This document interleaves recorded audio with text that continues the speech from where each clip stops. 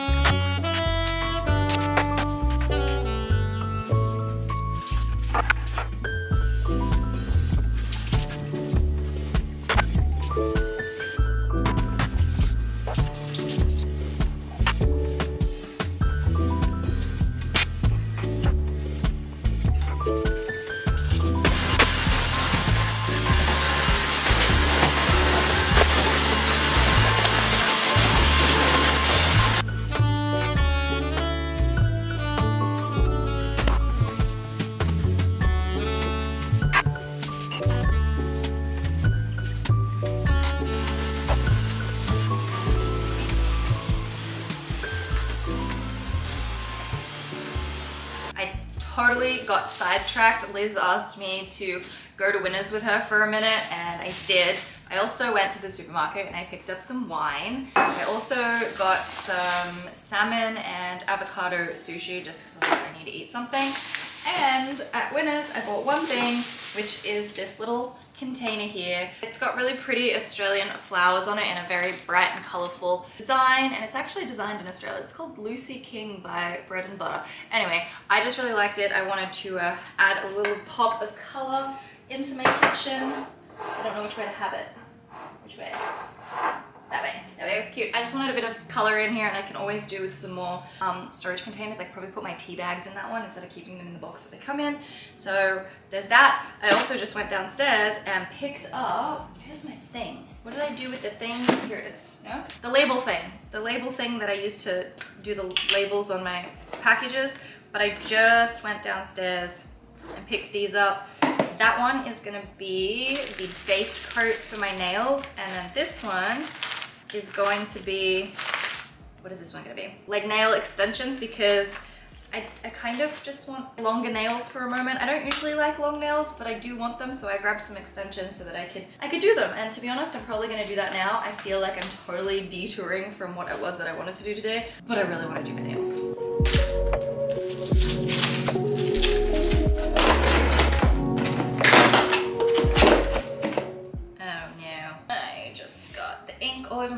You really have to let the ink dry, otherwise this happens. So I should have opened the box first, this is the base coat that I picked up. I wanted to try the Gelish one because I've not done it before. And then these are the tips. And then I bought these really cute little sushi plates from a random home decor store when I was in Montreal. And they're just perfect. There's a little spot for your soy sauce. And then I put my sushi on it. It's just perfect. So I'm gonna sit in the living room and eat this. And then I'm gonna start on my nails. Today's video is sponsored by Skillshare. Skillshare is an online learning community. And if you are like me and you love to learn new things or try different things, then head to Skillshare as they have thousands of classes in a variety of different topics. I am all about the classes that are around art and creative projects, but also home things. One of the things that I'm really interested in at the moment is expanding my plant collection and even looking into having a vegetable garden at home. For that, the class that I am in the middle of is called Indoor Gardening, Grow House Plants, Veggies and Herbs by Ekta Choudhury. I kind of killed a tomato plant last year and I would like to be able to maintain one. Anyway, there's more about my house plant and the things that I would like to do towards the end of this video. The first 1,000 of my viewers to sign up using my code Rachel or my link in the description will get a one month free trial of Skillshare so you can start exploring your creativity today. Good morning, it's Friday and I did my nails yesterday. They're not super long, but I just wanted a little bit of length to them and then I went with like a nice nude color. It's a beautiful day again. I got up and I went for a walk by the lake this morning with a coffee, which was really nice. But now I'm gonna get back into my to-do list and keep ticking things off. First things first, I really need to put on a load of washing.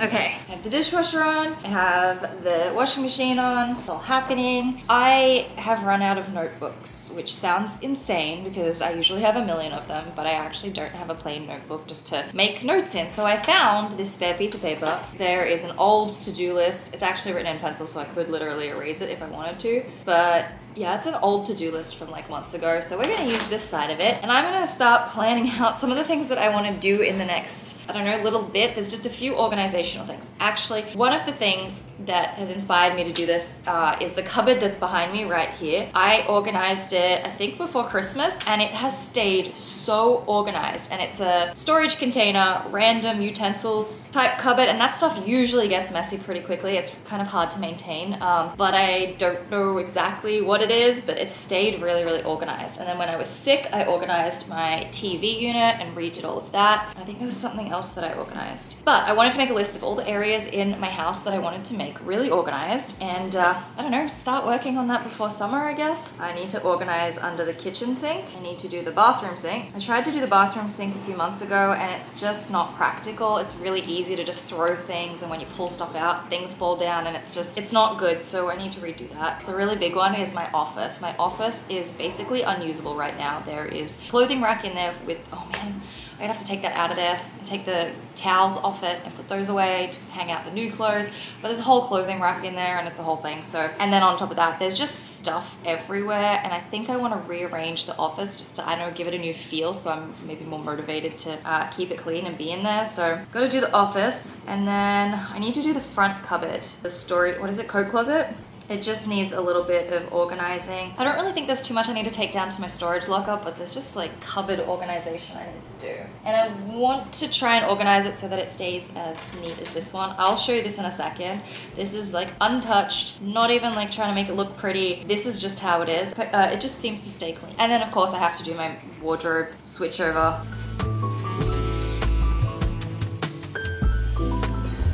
Anyway, this is my cupboard of uh, kitchen utensils and storage containers. I just move the chair out of the way. This I did, oh, you know what that is? That is fingerprint marks where I accidentally had some of the confidential ink on my package the other day. It wasn't dry, I put, a, I put a fingerprint there. Anyway, so this is my cupboard. It may not look very neat, but to me, it is very organized. I ended up getting these three containers. I have uh, lids and storage containers in here. Down the back, I have slightly bigger storage containers that don't fit in there. In this one, I just have measuring spoons and a random heart-shaped plate.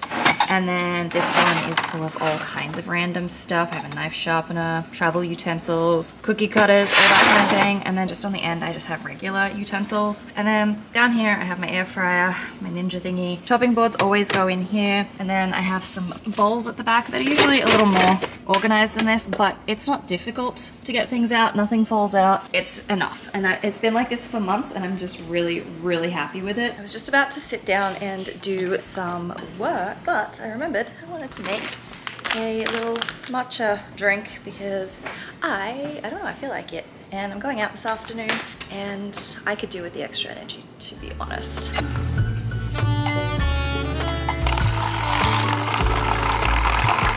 Accidentally hit the, the button to make it go when I was pulling it out and I splattered it everywhere. I think it went up my arm and not actually on my shirt. Mistakes shall be made.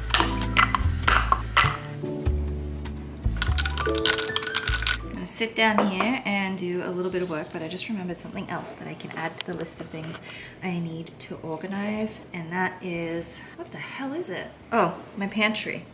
It's my pantry. I have two pantry drawers. I did some organization a few months ago, but as I've collected more dry food that, you know, lasts for uh, quite a while, the drawers have gotten really messy and I need to redo them.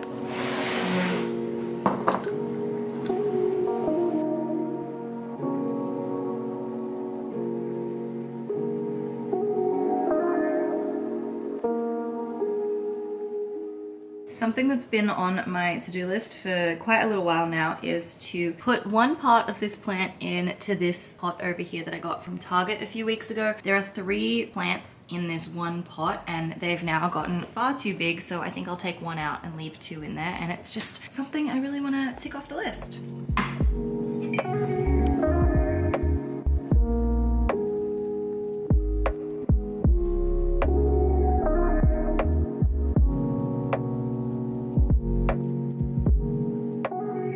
Done. I'm very happy with it. This one is so much taller than I thought it was. It didn't look as tall in the white pot, but this one has a home. It can go back to the coffee table. It is absolutely thriving here, so I definitely don't want to move it from there. And I like that. As for this one, not sure yet. I really want to put a plant up there, but I think it might be too tall for the shelf. Yeah, it is. So I'm gonna have to find somewhere else for this one.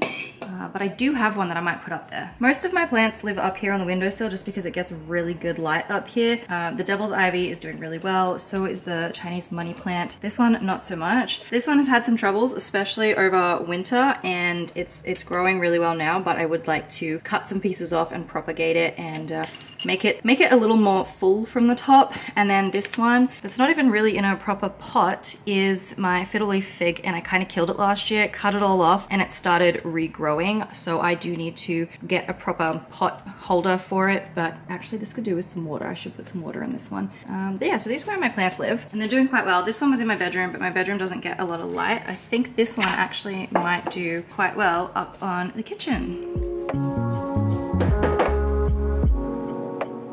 if I like it. I feel like this bottom shelf has too much on it. The middle shelf needs to be restyled because that's just uh, a mismatch of stuff and then the top shelf just also needs to be restyled. Maybe I could put the plant on the top shelf. I can't tell which way I like it more. I need something to go under the devil's ivy and then the black plant thing up there, I just need to put those away into a cupboard and then also something for the bottom right, but it's better. I just, I want more greenery in here and I think I might even pick up some more plants very soon because I just don't feel like I have enough and I miss how much greenery I had in my old house. This is about as far as I got. I just moved moved the new canister jar thing up there. And then down here, I put the, the new plant, which I really like. I do like greenery in my kitchen, so I'm feeling much better about this.